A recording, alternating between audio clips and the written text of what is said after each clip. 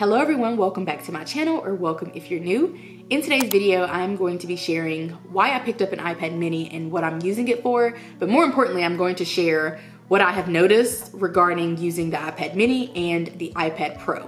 And I have been using, I've been an iPad user on and off for about 11 years, since 2012 actually.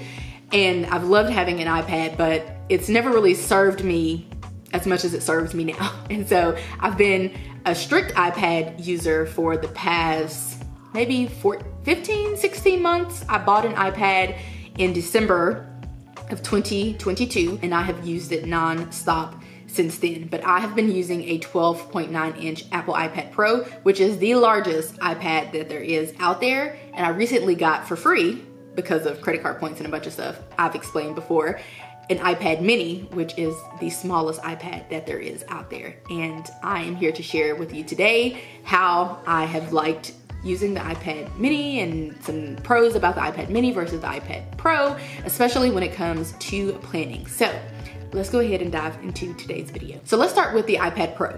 One thing that I've noticed about the iPad Pro is that it is much better for multitasking. You can split your screen and when I do that, it is very helpful, especially when it comes to planning and things like that because I can open, let's say, my digital planner in Google Calendar to kind of cross-reference or see, you know, what I might need to plan on one or the other. Or I can open Notion in my digital planner or my digital planner or Google Calendar and Notion. So it's much better for multitasking in a split screen, whereas that's obviously not the case with the mini because the mini is literally half the size of the iPad Pro, 12.9 inch, and it's not even worth using multitasking. On the mini, I don't do it because the screen is already so small. Trying to split the screen is, I might as well just be using an iPhone if that's the, if that's the case. Another thing that I noticed about the Pro that I love is that when I put it down on a surface to plan, which is traditionally what I have done, it really feels like I am planning on a piece of paper or in a notebook or something like that because of the size of it. The Pro that I have is a 12.9 inch. The standard letter size for a piece of paper is 8.5 by 11 so it really feels like I'm just writing on paper especially with the paper like screen protector and the types of tips that I use for my Apple Pencil so that's one thing that I do not have on the mini. It definitely feels like I'm just kind of planning on a phone if I'm being honest, but the Pro really makes it feel like I'm planning in a notebook or on an actual piece of paper. Another thing that I've noticed with the Pro is that I never have to zoom in to see anything or even to write typically. Normally I can just whip out my Apple Pencil and start writing on my iPad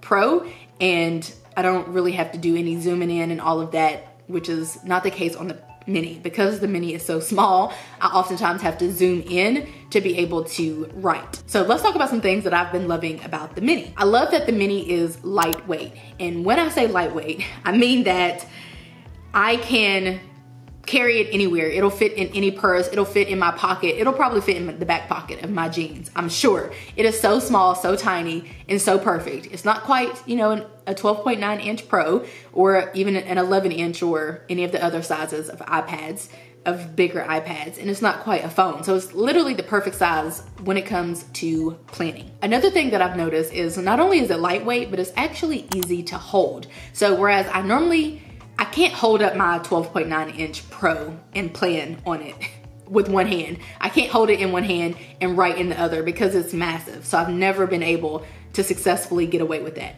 So the difference is with the mini is so small, so compact, and it's lightweight that I can hold it in one hand and have my pencil in the next and be able to plan and write and do all the things and it not be that big of a deal. It's not something that it's literally too heavy for me to hold. The other thing that I've been loving about my Mini is that its only use, if you don't know this, is for planning. So I only have a few apps installed on my Mini. I have my digital planner, which is in GoodNotes. I have Notion, I have Google Calendar, and I also have the Kindle app. So I do use it strictly for planning and reading. That's it. I don't use it for scrolling, for anything else. I just use it for planning and for reading. And because of which I do like it because there are no distractions popping up. Like on my phone, there's texts and calls popping up all day long. On my Pro, because I use it as a laptop, there are Zoom meeting notifications popped up, popping up and all types of notifications popping up and it's just cluttered with a bunch of different things because like I said, I use it as a workhorse,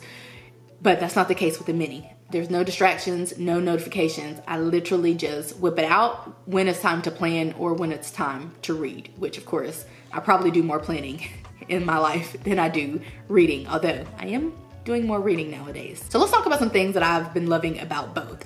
The first is the auto connect with the Apple Pencil. So if I just connect my Apple Pencil to the side of my Mini, it automatically connects via Bluetooth and I can immediately start using it.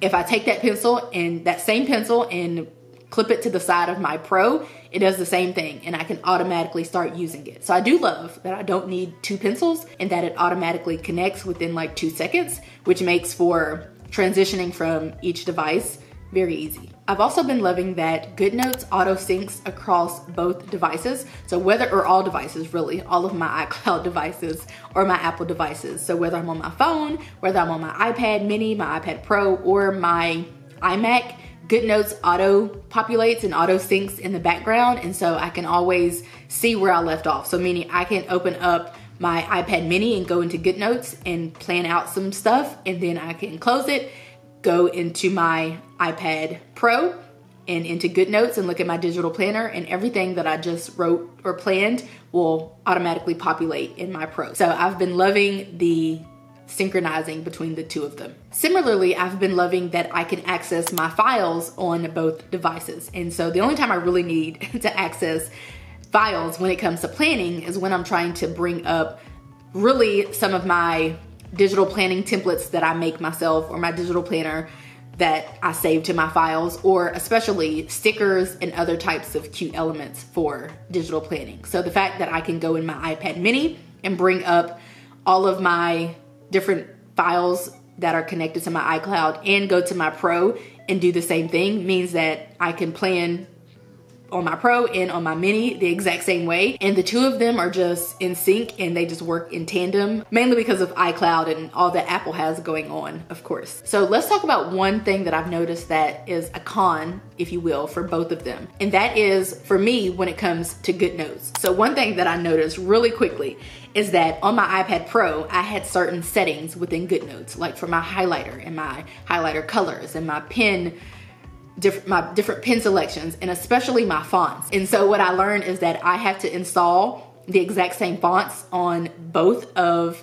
the devices. I have to go in and I had to go in and adjust the settings so that they would mirror one another. That didn't automatically happen for me. So when it came to GoodNotes, I had to make sure that my mini replicated my Pro. So therefore, when I planned on either device, whenever it was time to sync to the other device, it would look exactly the same if I had the exact same GoodNotes settings, same highlighter choices, and same um, fonts and all of that. So it made planning on, it makes planning on both devices so much easier and so much more flawless. So I've only had the iPad mini for like three weeks, and those are some of my initial thoughts on digital planning on the iPad Pro versus the iPad mini. If someone asked me which one that I would prefer as of right now in this very moment for planning only, I would probably have to go with the iPad mini just for planning only. Of course, when I bought my Pro, it was not to strictly plan. I bought it as a laptop replacement